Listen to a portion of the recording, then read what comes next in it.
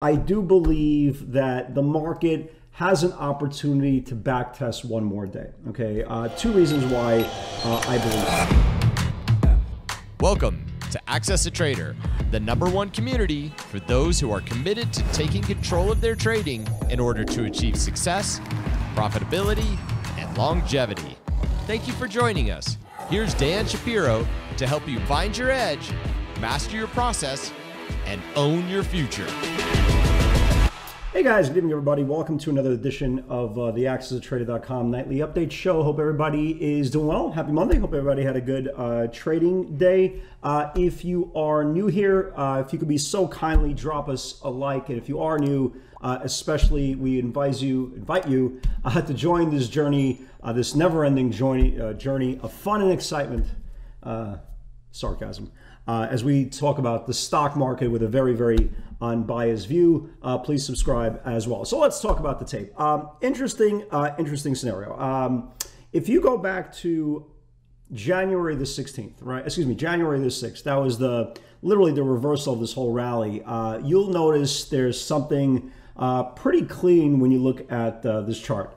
Three out of the 16 days since the low of this bottom channel of the linear regression lines uh, the, the candle, the Japanese candle, uh, closed red, which basically means uh, the close was lower than the open. If you can see here, you can see with your eyes, only been one, two, three. That's it, three closes. And we talk about this uh, every single video. Uh, a bear market will not go down uh, every single day. You're going to have reverse trend days. And here where we are on the bullish side of things, once we reclaim the 50-day moving average and also reclaim the 200-day moving average, uh, we say this every day, there's no way the market can continue to go higher and higher, although it felt like that uh, all the way through January. So it's very uh, important to understand that you know anything that's overextended, you kind of want to leave alone, uh, tra- take it trade by trade, because what ultimately is going to happen is if you're not conscious and if you are trading with uh, rose-colored glasses, you're going to get pulled. Um, if you look at the action today, it was actually pretty good. Uh, the value on any type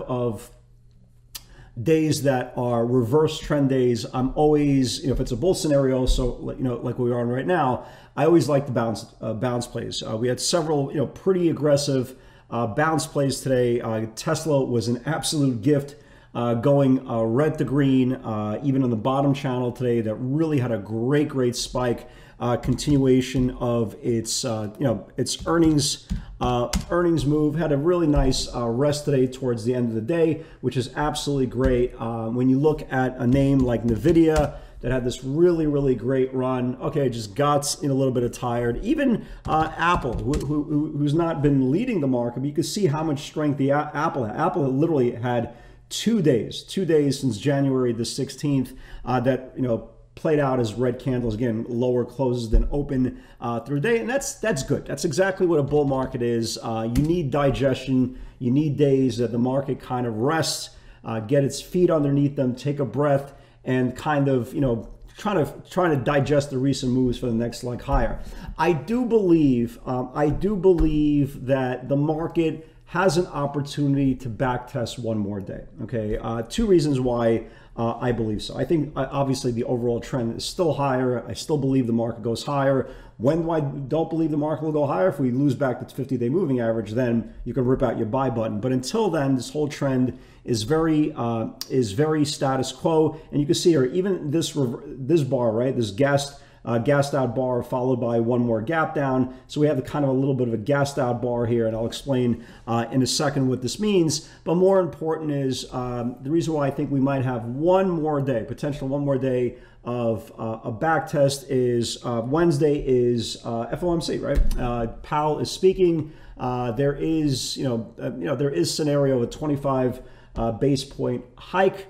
Uh, there's also obviously the interest for all traders, investors, uh, is what's going to happen next. What's their contingency plan? Again, from one side of their mouth, they're talking about uh, inflation is still here, everything is still crappy. Uh, we might be raising rates till you know middle of 2024, end of 2024, and then you'll have uh, somebody like Waller come out and say, well, wait a minute, I think everything is starting to get under control. I think we have uh, now a contingency plan when uh, these hikes can stop. So again, we'll see. We, we, you know, I think the market is going to need a little bit of language uh, to kind of see what happens. But I, I, could definitely see a scenario that if potentially we do have uh, one more day of backtest, if the Qs confirm the five day moving average, you can see here we closed right at the five day. Uh, so if the few Qs can confirm the five day tomorrow to the downside, yeah, I think there's a trade there. And that's all it is. Okay. I'm not looking for. Uh, I'm not looking for, you know, we're going back to the lows, this, that, the other thing. It's just a trade. I'm looking for cash flow moves. Uh, and if you, for all you guys who are in, in the AAT community, you'll notice I have majority of, uh, I would say, I think um, majority of the names uh, going to the downside tomorrow just because of this close, right? Just because of this first close below the previous day's range, and we have one more day of potentially digestion, people sitting on the sidelines, uh, you know, seeing exactly what Powell's going to say uh, come Wednesday afternoon. So that's pretty much it. Sometimes you don't need a lot of language, a lot of data to kind of give you an idea of what's going to happen for tomorrow. If you go through, uh, if you go through your names today, and again, I'm, I'm I trade primarily you know 90 95% of the same 10 stocks. But if you go through the nasdaq 100 tonight you'll see a common theme. You'll see stocks that are trading uh, either below the previous day's low that need to be confirmed tomorrow or stopping just above yesterday's low that obviously need to confirm tomorrow. So if you look at the qs and i'm going to share this price with you.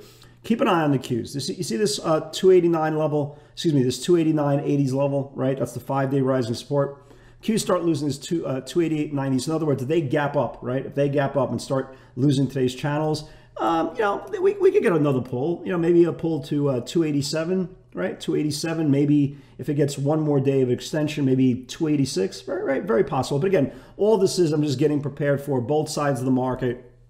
You know, if we do rally, start reclaiming um, you know, yesterday's channels, I'll be interested obviously to the long side, but I, I could definitely see a scenario of uh, the Bulls and the Bears kind of just kind of resetting um, and, you know, taking advantage of potential uh, some intermediate short-term channels to the downside uh, for some cash flow. And if you see, uh, if you if, if you are looking for ideas, again, look at the stocks that are you know had the biggest runs. Right, we talked about it. Nvidia, right, had a great run. Again, Nvidia's you know same thing, three down days since January the you know January the 6th. I mean that's that's kind of replicating. But you can see here Nvidia is taking down two days uh, worth of price action. So if Nvidia confirms again, maybe it's you know maybe there's a move to the to the 10 day moving average.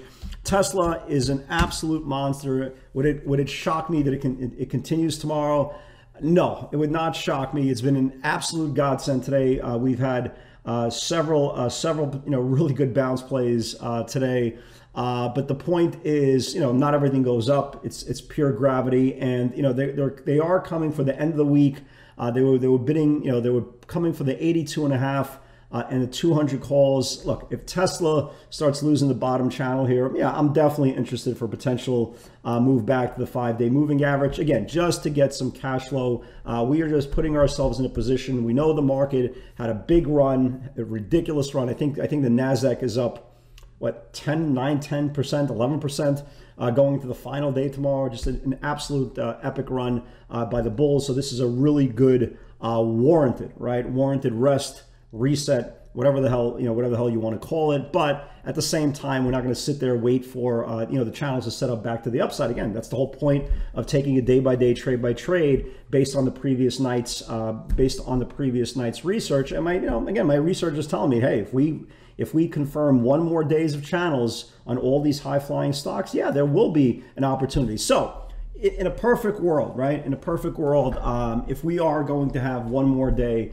of downside action, right? Some backtesting option. The optimum thing that would happen tomorrow is obviously a gap up, right? Because if you have a gap up and you put in a lower high and get stuffed into 60 minutes supply, well, what is going to happen, right? It's going to probably take out the previous day's lows, which is today's channels. And if that happens, that's when I believe uh, we can get our value. So that's it. I mean, that's it. You know, certain days you have to sit there. Uh, you have to sit there and dissect uh, 12 million things. We know two things. The market had a phenomenal run. Tomorrow's the last day of the month, so a lot of traders are probably even going to be taking off. It is the day, day and a half ahead of Powell. So a lot of traders will be waiting to see uh, what Powell says, what the what the Fed says, and what the language, at least the contingency plan going forward. Some days you have to be uh, you have to go through data with a fine tooth comb. Uh, other times you have to just look things from a simplicity point of view and say, hey, the market's tired. There's a really good chance that if we do confirm today's channels back to the downside, obviously a good reversal day uh, today from the exhaustion channel from Friday.